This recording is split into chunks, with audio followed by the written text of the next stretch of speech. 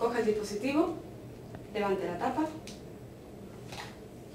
levante la parte blanca introduzca una de las cápsulas